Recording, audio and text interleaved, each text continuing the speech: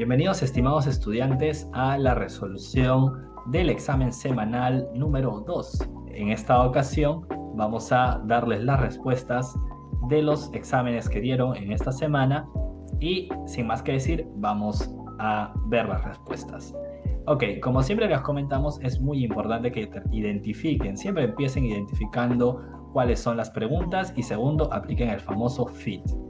Pues bien, en este caso nos damos cuenta que las tres preguntas guardan el famoso esquema de las series verbales, ¿no? Es decir, nos dan tres palabras, o dos, o cuatro, sea cual sea que nos den las palabras, nos están pidiendo que encontremos cuál es la que continúa a esa relación de semánticas. Bien, entonces tenemos que encontrar qué es lo que continúa a Amazonas, Marañón y Urubamba y qué relación tiene para, que, para encontrar a la que le sigue lo mismo con flauta, quena y clarinete, y por último lo mismo con poder ejecutivo y legislativo. Bien, empecemos entonces una vez que nos hemos dado cuenta que las tres preguntas son series verbales, empecemos identificando cuál es la más fácil, la intermedia y la difícil. Apliquemos el famoso FIT. Ok, en este caso nos damos cuenta que es evidente que la número 2 es la más fácil porque todos conocemos que es una flauta, quena, clarinete, y ya más o menos podemos intuir por dónde va la respuesta. Asimismo, la número 2 no es tan difícil, pero tampoco es fácil porque tienes que conocer y tener cierta cultura general sobre qué es el Urubamba, qué es el Marañón, etc. Entonces le ponemos, es fácil, pero le vamos a poner intermedio. Y por último, repito, este criterio del FIT siempre va a ser subjetivo, tal y como ya lo han visto en la anterior explicación. Eh, en este caso, Em, para algunos puede ser muy difícil esto si es que no tienen conocimientos sobre ciencia política. Entonces, repito, el criterio del FIT siempre va a ser subjetivo y va a depender de los conocimientos que ya tiene el alumno, pero de manera genérica hemos identificado esas tres. ¿ok? Para algunos posiblemente todo es fácil, para otros es todo difícil. Es subjetivo dependiendo de los conocimientos que el estudiante ya tiene almacenado. Pues bien, continuemos. Entonces vamos a empezar con la número 2, dado que es la más fácil. Flauta, quena y clarinete. Las tres son instrumentos musicales y por supuesto estas tres son no cualquier instrumento musical, ¿cierto? Son instrumentos musicales que tienen una característica muy específica, que son instrumentos de viento o aire, ¿no? Es decir, necesitan que expulsemos cierta cantidad de aire para que emitan un sonido. Eso es una flauta, una quena, así mismo como un clarinete. Pues bien, un xilófono no necesita aire o viento, dado que necesita el movimiento de las manos y golpear ciertas cuestiones. Una zampoña sí necesita eh, viento, un piano no, un parlante podríamos decir que sí para transmitir las ondas sonoras, pero principalmente necesita electricidad o baterías. Y un violonchelo, que es una especie de violín, eh, eh, es una especie de violín enorme, no, no necesita eso, necesita el movimiento de las manos y la fricción de las, de las cuerdas con los hilos. Por lo tanto, facilísimo, la respuesta en este caso sería zampoña. Muy bien, hemos resuelto rápidamente la número 2. Ahora nos vamos a la pregunta intermedia, que es la número 1. Muy bien, en la pregunta intermedia Amazonas Marañón Urubamba tenemos que pensar a qué se refiere con cada una, ¿no? Sabemos que son partes del Perú, por supuesto, pero nos está pidiendo un criterio más. ¿Son simplemente regiones? ¿Son eh, distritos? ¿Qué, ¿Qué cosas son del Perú? ¿No? ¿Son nombres? ¿Qué son? Bueno, en este caso puedes reconocer que son ríos. ¿Ok? El río Amazonas, el río Marañón y el famoso río Urubamba son ríos y por lo tanto lo que tenemos que encontrar es también un río. ¿El Titicaca es un río? Por supuesto que no, el Titicaca es un lago. ¿El Rímac es un río? Claro que sí, un río ubicado en Lima, el río Rímac. Huacachina es una laguna. Yarinacocha igual una laguna y Huamantay de igual forma. Por lo tanto, siguiendo ese criterio, nuestra alternativa sería Rímac, dado que los tres son tipos de ríos. ¿Ok? Para resolver esta pregunta necesitábamos un poco de cultura general, que es algo que muy probablemente te puede venir en un examen COAR. muchas preguntas de los exámenes COAR vienen no solamente de preguntas abstractas y genéricas, sino tienen, te demandan ciertos conocimientos de la cultura peruana. Así que es muy importante repasar todos esos detalles. Y por última, la que para algunos pudo, pudo haber resultado la más difícil, es la número 3, porque requiere ciertos conocimientos de ciencias sociales. Poder ejecutivo, poder legislativo. ¿Qué son estas cosas llamadas poder eh, legislativo y poder ejecutivo? De hecho, nos damos cuenta que solo nos ponen dos palabritas, ¿no? A diferencia de las anteriores, no hay una tercera palabra.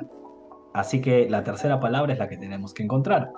Pues bien, el poder ejecutivo y legislativo es el nombre que le damos a la tripartición, tripartición de qué? Del Estado. ¿Ok? La teoría general de la ciencia política nos dice que el Estado es la división de tres poderes. Si solo fuese un poder, sería una monarquía, pero el Estado democrático tripartito tiene tres partes. Por una parte está la presidencia, seguido del Congreso, o también conocido como Parlamento o Senado, y por último están, vamos a llamarle, los que administran las leyes. Es decir, se encargan de que las personas cumplan las leyes. Muy bien, a la presidencia, que se encarga de realizar los actos, vamos a llamarle al gobierno, a la presidencia también se le conoce como gobierno, se encarga de, por ejemplo, construir puentes, construir carreteras, eh, promulgar ciertos actos estatales, em, financiar también ciertas cuestiones del Estado, a es, es decir, al, que se encarga de ejecutar las acciones se le llama poder ejecutivo. Muy bien. El Congreso es el que se encarga de vigilar que la presidencia o el gobierno esté trabajando bien. Por lo tanto, se le llama poder legislativo, porque a su vez también promulga leyes. Se encargan de eh, producir ciertas leyes. Y por último, tenemos quienes se encargan de que esas leyes se cumplan. Los encargados de que esas leyes se cumplan es el famoso poder judicial. Teniendo esta breve teoría de ciencia política, nos damos cuenta que poder político, no, porque los tres son poderes políticos. Poder administrativo, los dos también son poderes administrativos. Poder judicial, esa es nuestra clave. Poder eclesiástico, no, la iglesia no forma parte de los poderes del Estado. Cuarto poder, cuarto poder es el nombre que se le da a la prensa como un cuarto poder, su nombre lo dice. Pero ahora estamos hablando de tres poderes del Estado, tripartito, ¿no? A la prensa se le conoce como cuarto poder porque su rol es vigilar a los anteriores que han sido mencionados, ¿no? Investigar que no haya actos de corrupción ni problemas eh, afines. Por lo tanto, habiendo tenido esa breve explicación teórica, podemos decir que nuestra clave de poder ejecutivo y legislativo es el poder judicial. Muy bien, estimados estudiantes, más detalles lo van a tener en nuestras clases. Ahora es el turno de la resolución de los ejercicios por parte del profesor Franco. Bueno amigos, continuamos entonces con, el, con la parte de matemática. Para, para este ejercicio tengo un ejercicio de completar operación, así es como se llama este ejercicio. Lo que busco en este tipo de ejercicio básicamente es ordenar los números eh, utilizando obviamente los operadores para de esta forma configurar o armar una operación matemática. Empecemos.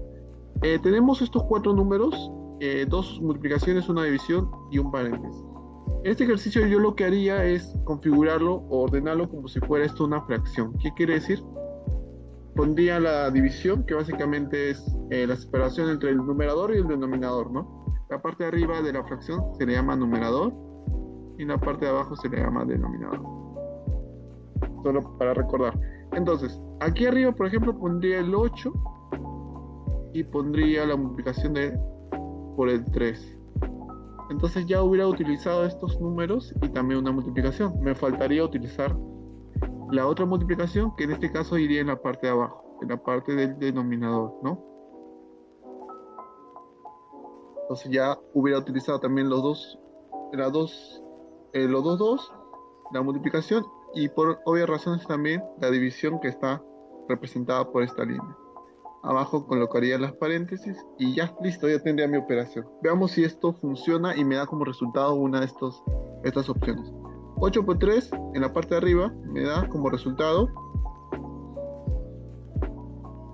24, ¿no es cierto? Entonces aquí arriba lo voy a colocar 8 por 3 me va a dar 24. Y abajo tenemos 2 por 2, ¿no? 2 por 2 es 4. 24 entre 4, esto es una división. 24 entre 4 me sale 6.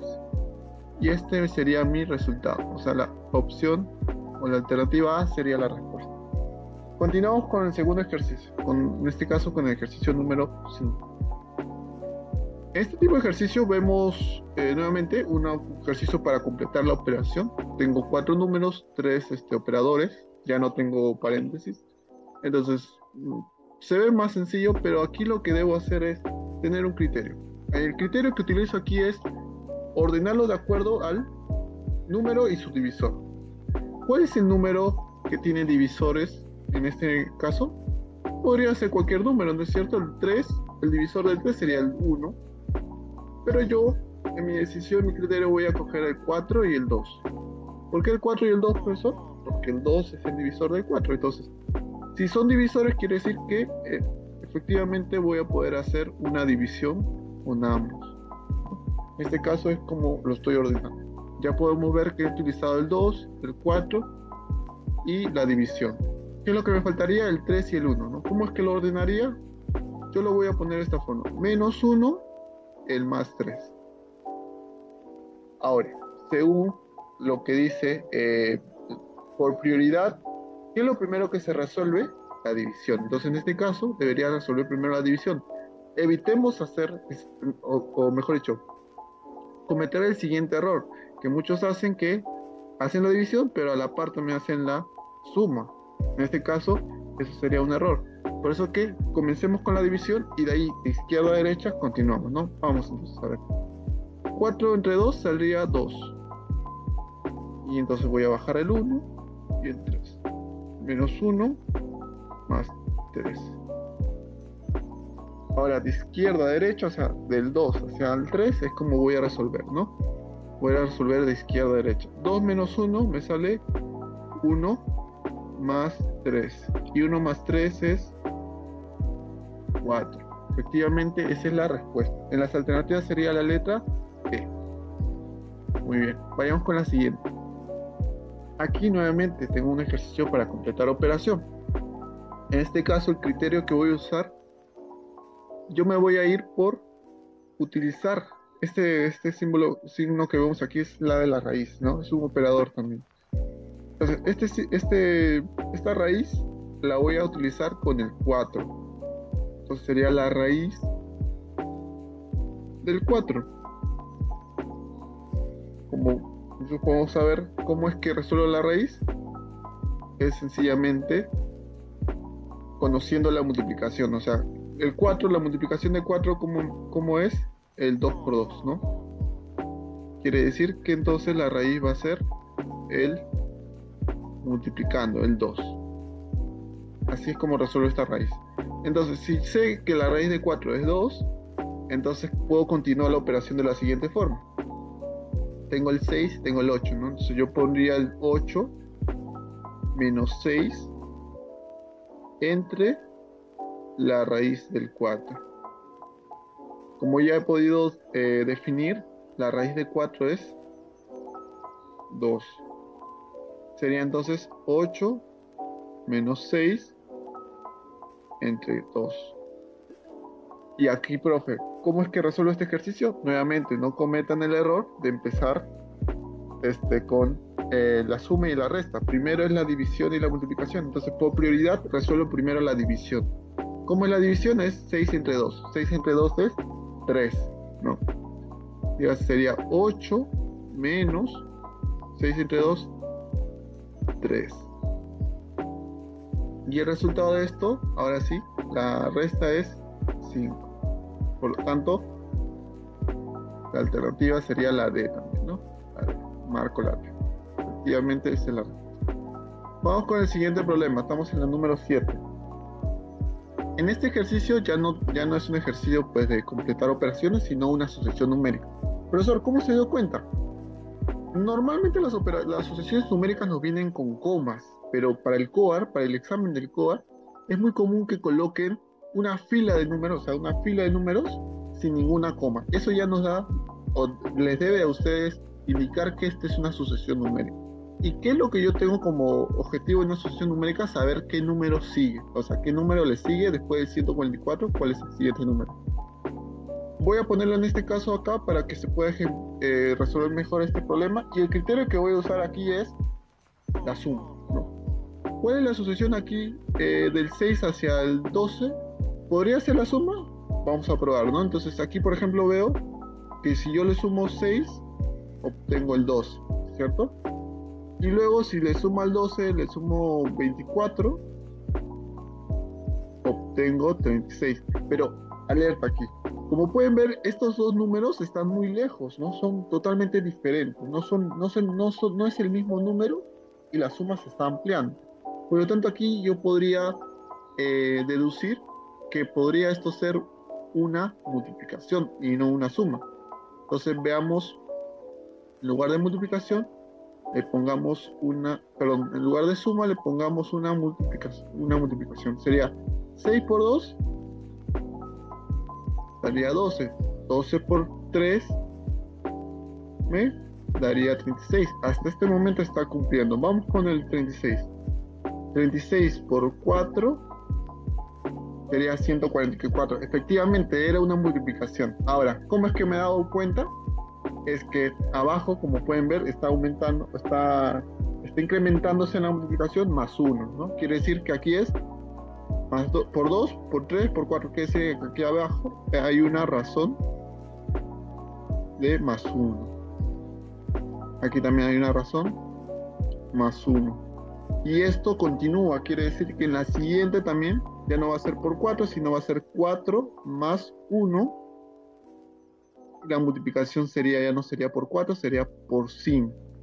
Y para conocer justamente el siguiente número, yo debo multiplicar el 144 entonces por el 5. ¿Cuánto es 144 por 5? No, esto no lo hagan con calculadora, tienen que hacerlo a mano. 5 por 4 sale 20 elevo el 2, 5 por 4 también 20, más 2 sale 22.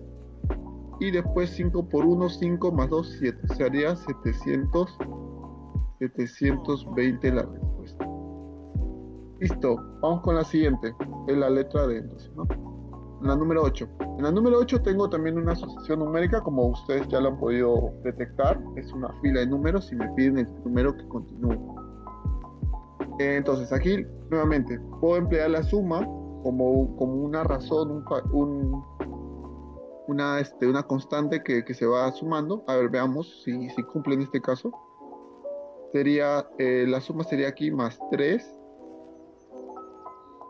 Aquí sería 5 más 6, ¿no?